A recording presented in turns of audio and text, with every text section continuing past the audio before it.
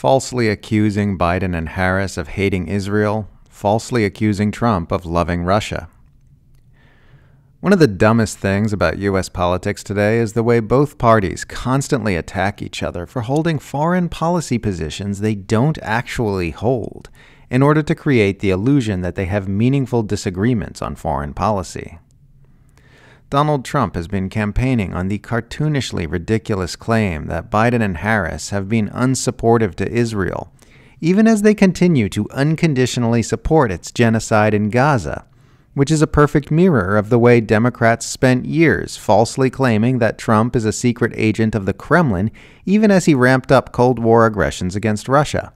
They need to campaign on these completely fictional disagreements regarding the enemies and allies of the U.S. government because they do not actually have real disagreements regarding the enemies and allies of the U.S. government. During a speech in Florida on Friday, Trump claimed his new opponent, Kamala Harris, stabbed Israel in the back by skipping Benjamin Netanyahu's genocide apologia speech before Congress the other day. He contrasted her with himself, saying that he has done more for Israel by far than any other president, with measures like recognizing Jerusalem as Israel's capital and recognizing Israeli sovereignty over the illegally occupied Golan Heights. She doesn't like Jewish people. She doesn't like Israel, Trump said of Harris, who A. is married to a Jewish man, B. has an established track record of groveling before the Israel lobby, and C. released an obnoxious statement denouncing anti genocide demonstrators who protested Netanyahu's speech as anti Semitic terrorist supporters.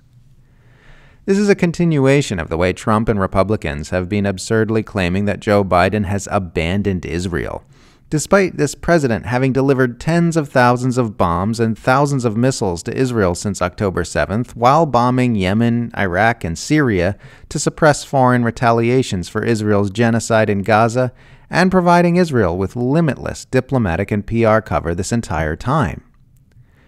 The self described Zionist, Joe Biden, couldn't be more supportive of Israel and its agendas unless he was actually physically in Gaza, personally shooting medical workers with a sniper rifle. When Netanyahu met with Biden this past Thursday, he told him, From a proud Israeli Zionist to a proud Irish American Zionist, I want to thank you for 50 years of public service and 50 years of support for the State of Israel. Ahead of Netanyahu's meetings with both Biden and Harris, a senior administration official told the press that there was no daylight between the president and vice president on their position on Israel. There is no way to square this with Trump's rhetoric about Biden and Harris being evil anti Semitic Israel haters. But that's not going to stop Republicans from making these claims anyway, God bless them.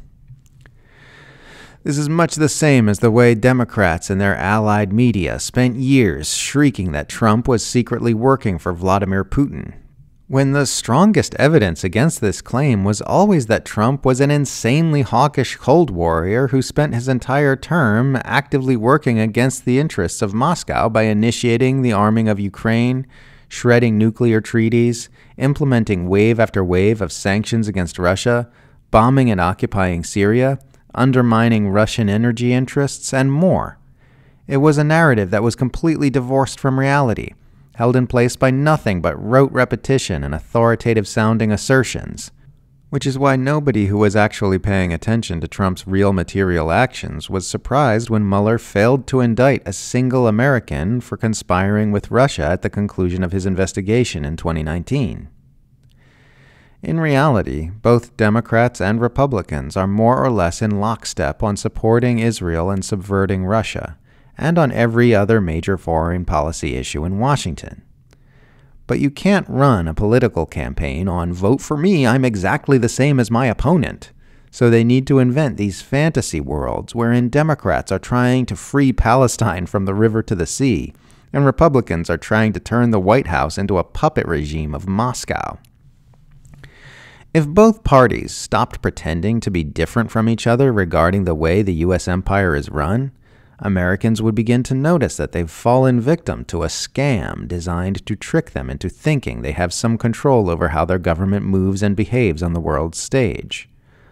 Like the jewelers, who all work for the same employer to create the illusion of competition in John Steinbeck's The Pearl, Republicans and Democrats put on a fake performance of opposition to keep the locals from noticing that the real power in their country is completely unaccountable to their votes.